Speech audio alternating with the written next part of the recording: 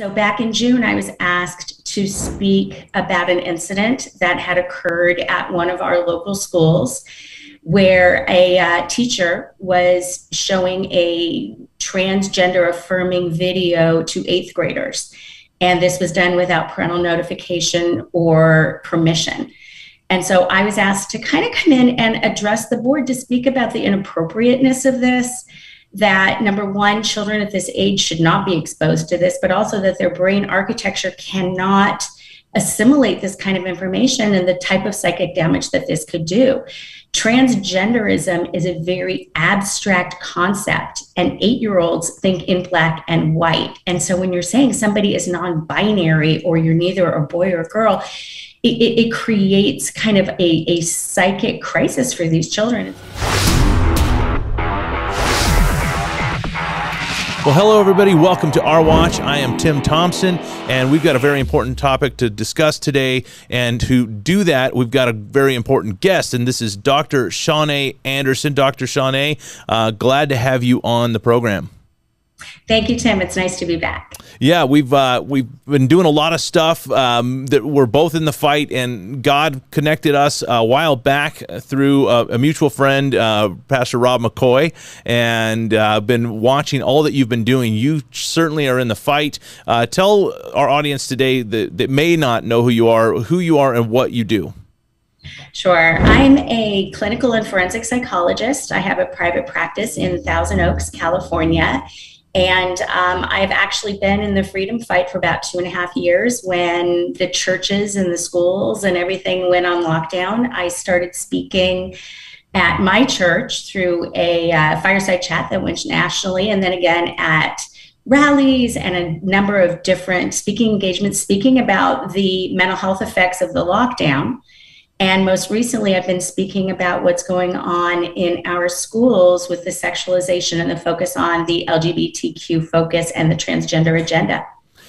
Yeah, and we appreciate that you're bringing your expertise to that issue. I've I've actually been up in your area quite a bit, even you know for years before COVID, talking about the. Uh, the sexualization, you know, the indoctrination that's taking place in the government-ran schools. I've spoke at the Conejo Valley uh, school board meetings multiple times. I've watched their agenda. You can see they have a very clear agenda, and that is to cut out the conservative parents from their kids' lives, um, to bring this type of indoctrination to the, the school. And, and to me, it's a huge frustration. So you were brought in to the Conejo Valley uh, school board meeting to, to talk. What was your experience there?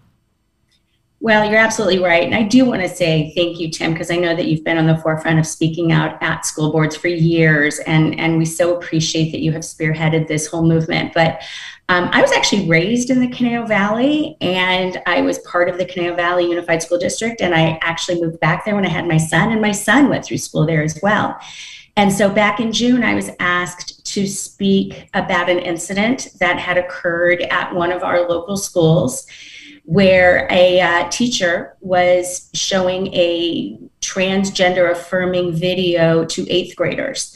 And this was done without parental notification or permission. And so I was asked to kind of come in and address the board to speak about the inappropriateness of this. That number one, children at this age should not be exposed to this, but also that their brain architecture cannot assimilate this kind of information and the type of psychic damage that this could do. Transgenderism is a very abstract concept, and eight year olds think in black and white. And so when you're saying somebody is non binary or you're neither a boy or a girl, it, it, creates kind of a, a psychic crisis for these children. And so I, I went before the board and really kind of expressed number one, a little bit of some empathy and understanding where they're coming from that I believe for the most part, I was a little naive, I think, um, acknowledging that they have a sensitivity to what's going on in these children, but I wanted to let them know what's going on to the other children who are being exposed to this, but also that there is a hyper focus on sexualization, on gender, on sexuality. Um, to the point that I believe it is harming those individuals who maybe have issues around sexual trauma, eating disorders, identity issues, and they're all being thrown into the one basket of transgenderism. And afterwards, I was called a hater, um, transphobic, and kind of all hell broke loose after that. Man, I, I'm sorry that you've had to go through that. You know, it's it's one of those things where when you do step up to to stand for what is good and true and right, you, you find that that people don't like that. You know, the the the fact is, um, truth it, it, overcomes the lie, and so the lie hates the truth. Uh, anybody who's a truth teller, uh, they're not going to like that. And you, you're you brought to them a professional view on this topic. You said their brains weren't ready for this at that age. It's not appropriate. What is it about their age? I mean, as a as a medical professional, um, or as a as a you know as a doctor, what is it that you're saying is is that they're not ready for it? Why is it that they're not ready for it? Children at that age, again, do not have what is called abstract thinking. And abstract thinking is when you can think in the gray. Usually that starts to occur at about puberty and through adolescence, where you begin to recognize that there's a grayness to life. And that up until about puberty, adolescence, children only can think in black and white. So things are either good or bad. Things are boy, girl. And so when you try to mesh the two together and create a grayness, children truly cannot grasp that because their brains have not been fully formed. So you bring your licensed professional opinion to the the school board. You get attacked. Uh, your your credibility and and really, I mean, talk to us about that attack. What happened to you? Well, that night wasn't pretty. As I said, there was a lot of um, booing and hissing and name calling and a lot of things. But what happened um, that was really um, very injurious and hurtful was a week later when I was actually preparing to speak at another school, the same school board, but they had another meeting that evening. I found out that afternoon that an individual who is a transgender activist who has very close ties with the school board had um, filed a 51 page complaint to my board. Um, in addition to submitting this to my board that holds my license, she also sent it to our state assemblywoman, the federalist, or I guess you'd call it United States congresswoman, the city attorney, the school superintendent, and the entire city council.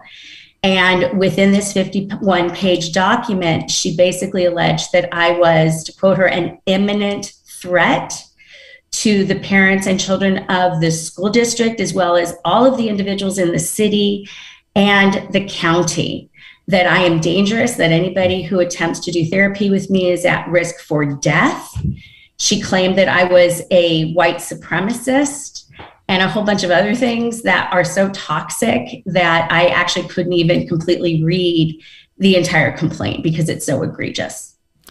Wow, you know, it it sounds to me like a, a defamation case here. You know, um, unbelievable to call somebody like you the the threat. And this is what happens. I mean, it happens to you. It happens to me. It happens to pretty much everybody you and I know that are actually stepping out and doing what's right. Um, we're the ones that are the threat. We're the ones that are bad, and we're just saying, look, this is it. Just doesn't make sense. What you're doing doesn't make sense. It, there's no common sense to it. It it it's not good. And really, what they're doing is the threat to our right. our community. And that is what people who are you know they hate this country you know we we call them marxist you know that's one of their tools is is whatever it is that they are doing they accuse us of. And well that's your projection. It's projection. Absolutely, absolutely. so that's what they do. Um, and, and we just have to keep fighting this fight. Now, um, you are still you're not going to back down. You're you're still in the fight, and and you have a way you're going to fight back. So you have something coming up in your future. Talk to us about what's going on with Dr. Shannae. I will. Well, before we even get there, I want to share that when I received notification of that and the fact that it had gone out to all the important elected officials in my community, many that I've known, honestly, since I was a little girl. I was absolutely mortified. And I didn't think there was any way that I was going to be able to speak at the board that night, which is exactly what their purpose was. They wanted to intimidate me, they mm-hmm. wanted to bully me, they wanted to shut me down. And initially, it kind of worked. I was very, very upset. But after consultation with some dear friends and some heavy prayer, I said, you know what? If if I'm shut down and if I stop speaking, they win. And so I actually went back to the board that night and told them, you know, that I actually held them accountable since they support this individual and that what she was trying to do is silence me and that I wasn't going to be silenced and that they were calling me a hater but now I truly understand hate because I've been a victim of hate. And so, in response to this, I have had threats. I've had to have security walk me to my car that evening. I was followed home. Um, I've had Antifa um, tweet about me. I've, it, it's really been pretty scary. Um, but what God has done in response to this has been pretty powerful. Um, God is actually what I say deploying me. I'm moving out of California. I'm not fleeing, yeah. as I tell everybody, although there is quite the uh, the urge to do so. But God is really deploying me, and I have been recruited by both Liberty University and the American Association of Christian Counselors in Lynchburg, Virginia. And I'm going to be going out there doing a number of things. I'll be teaching part time and doing some really amazing things for the American Association of Christian Counselors, such as helping spearhead the battle for Christian counselors like myself who are under attack for counseling according to our conscience and convictions and our faith. And so I'm really going to be trying to help those and really encourage those who are in the same profession that I am to actually stand up and fight this battle because I think many counselors sadly have been giving in to the dictates that we just follow what the state tells us to do because according to our state in California and Biden wants to do it nationwide we are not allowed to actually counsel individuals with issues around LGBTQ. We are only allowed to affirm. And I was not trained as a psychologist to affirm. My job is to help individuals struggle and kind of figure out their issues. And some of that is confronting and, and addressing truth amidst lies. And they want to shut me down and my language, even within my patients within my sessions with Christian patients. They're telling me how I need to do my job. Yeah, to me, it just you hear that, and I, I it just frustrates me so much because you know the fact is, you know, we we have variety a variety of medical doctors and if you go to one medical doctor and you don't like their assessment you can just say you know what, i'm going to go find a different doctor i'm going to go get a second opinion and you know you'll you can find a doctor that will treat you the way you're looking to be treated well, why is it that with psychologists you can't do the same thing? How how come all psychologists are told you have to counsel this way? Um, they're they're shoving you into a box, and let's face it. Um, the, the stuff that they're trying to, to push for is never going to bring about the mental health that a person needs. It's going to keep them trapped in in in a box that they might not want to be in. Well, if you look at what's going on with the push for transgenderism and that being taught starting in kindergarten, they uh, the numbers of individuals that now believe that they are transgendered in some studies has increased by like 4,000%. Wow. And what's sad is that there's a contagion effect in young women, whereas in the past we've seen contagion with, let's say, eating disorders and cutting and other kinds of self destructive behaviors. We are now seeing a number of young teenage women who struggle with self esteem, who struggle with their body. And again, I don't know any woman who didn't struggle with her body when she was a teenager. If you say, you know, I don't like my body, I'm struggling with who I am as a woman, you are now urged to believe that you are a man and they are then bringing in these they're drugging these young women they're doing you know top surgeries double mastectomies to these young women whose brains aren't even fully formed you know, at as teenagers, they're doing these transgender surgeries at like 18 years old, and the brain isn't fully formed until 25. And we know that up to about 85% of individuals who believe that they're transgender during adolescence change their mind later right. when their identity becomes more solidified and their brain is working fully. Right. So this is a crisis. Um, you're you're now going to be helping to uh, stand for the Christian counselors. Um, we uh, we want to continue to to bring people updates of what you're doing. Uh, we're just about out of time right now for for this uh, program, but can we have you back on and talk more about what you're doing and and and just kind of bring you on on a regular basis? Absolutely. Um, actually, through the American Association of Christian Counselors, when I move back there, we are going to be having a podcast that is going to have updates on this issue. Um, and right now, it's available to anybody who is enrolled in the American Association of Christian Counselors.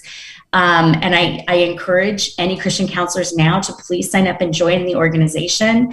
And it is going to be through our ethics and advocacy division. So you can stay up to date because they came for my license. They're coming yeah. for everybody else's. Right. I'm not special. They're going to be coming for everybody. Absolutely. Well, we're going to put the the links to connect with uh, with you and connect with that organization in the comments, so that way people can connect. That's all the time we have for right now. But I want to thank you, Dr. Shannae Anderson, for joining us today, and we're we're going to continue to pray for you. And I thank everybody for tuning in online. We'll see you next time right here on Our Watch with Tim Thompson.